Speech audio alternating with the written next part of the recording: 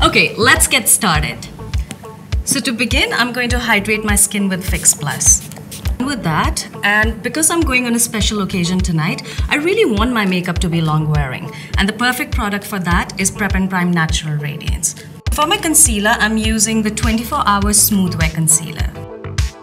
Next, I'm going to apply Studio Fix Foundation. It's matte finish, long wearing, and the coverage is so great you only need a tiny bit for your entire face. Okay, so now that my foundation is done, I'm going to set it with the powder. And for that, I'm going to use Studio Fix in NC42. So now that my base is done, I'm going to use Mineralized Skin Finish to sculpt my face. For my brows, I'm going to use the Eyebrow Styler and this is a great product. This has a spoolie on one side which is going to help me comb my brows and the pencil on the other side. Next, I'm going to apply highlighter on the tip of my nose, on my cheekbones, and the cupid bow. Next, I'm going to apply Melba blush on the apples of my cheeks. Okay, so now I'm going to begin my eye makeup and for that, I'm going to use this beautiful matte palette called Semi Sweet Times 9. I'm going to use this brown eyeshadow in my crease first. Okay, time to use the shiny eyeshadow. This one's called All That Glitters and I'm going to use a flat eyeshadow brush to apply it. For my eyeliner, I'm going for a fun blue color and this one is called Auto-de-Blu. The best thing about this eyeliner is it's absolutely smudge proof and the color is so beautiful. To finish my eye makeup, I'm going to use In Extreme Dimension Lash Mascara. So I've defined my lips with Soar Lip Pencil and you can see that it just gives it a nice shape. For my lipstick, I'm going with Mehr Lipstick which is a beautiful color for an occasion like Mehendi. And just like that, my Mehendi look is done.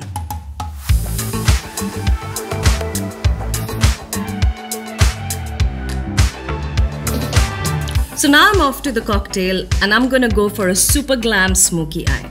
To begin, I'm gonna use Feline above my waterline and inside as well. So I'm just applying it like an eyeliner, taking my pencil brush and smudging it. I'm gonna apply it like a kajal as well. And once I'm done, just how I smudged it on the top, I'm gonna smudge it at the bottom as well. And you can see it's already started giving me that smoky look. I'm gonna use this dark eyeshadow in black colored carbon. The whole idea of a smoky eye is to make sure that the color is going from dark to light. So using the light color, I'm going to blend the dark eyeshadow that I've put. Now to add shine to my eyes, I will be using blue-brown pigment right on the center of my eyes. I'm already wearing lash number 4, but just to add finishing touches, I'm using In Extreme Dimension Lash. Because my eyes are a little bit strong, I kept my lips on the softer side. Looks glam, doesn't it?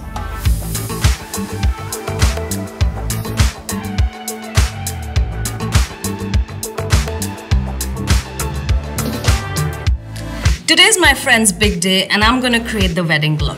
For my eyes, I will be using the Teddy Eye pencil as an eyeliner and then smudge it. I've taken the brown eyeshadow with a flat eyeshadow brush and I'm just patting it on my eyelid once I get a good color payoff, I'm going to blend it. Next, I'm going to use Teddy Eye Pencil on my lower lash line and smudge it with the same brown eyeshadow. To add more definition to my eyes, I will be using Feline Eye Pencil as a kajal. So you can see that I've used the black eyeshadow on the top and bottom.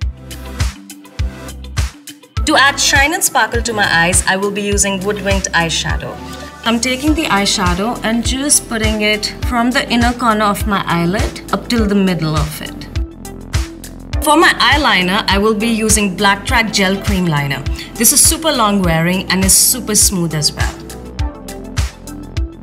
I'm already wearing MAC number 4 lashes and to add more volume, I will be using In Extreme Dimension Lash Mascara.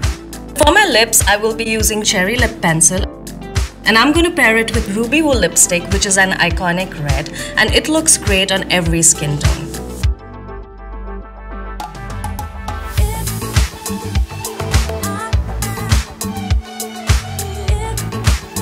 Which of my makeup looks did you like?